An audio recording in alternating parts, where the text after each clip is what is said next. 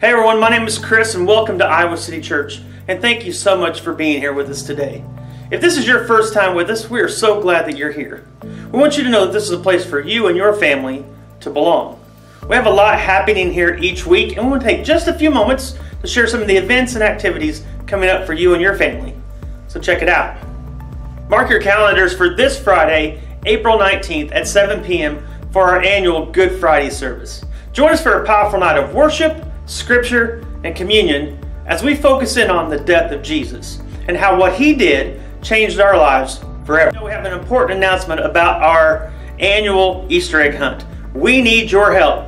We need lots and lots of, that's right, candy. Today is the last day to donate your candy for our annual Easter egg hunt. So go out, grab that candy so that we can help the kids have a great Easter egg hunt this year.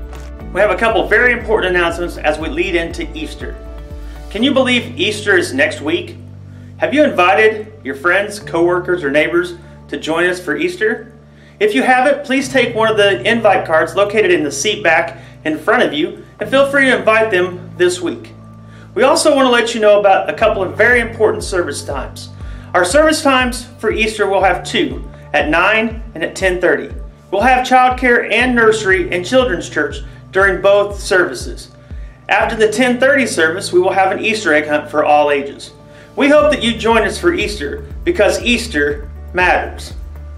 Now let's turn our attention to Pastor Tom as we continue our series, Focused, Fixing Your Eyes on Jesus.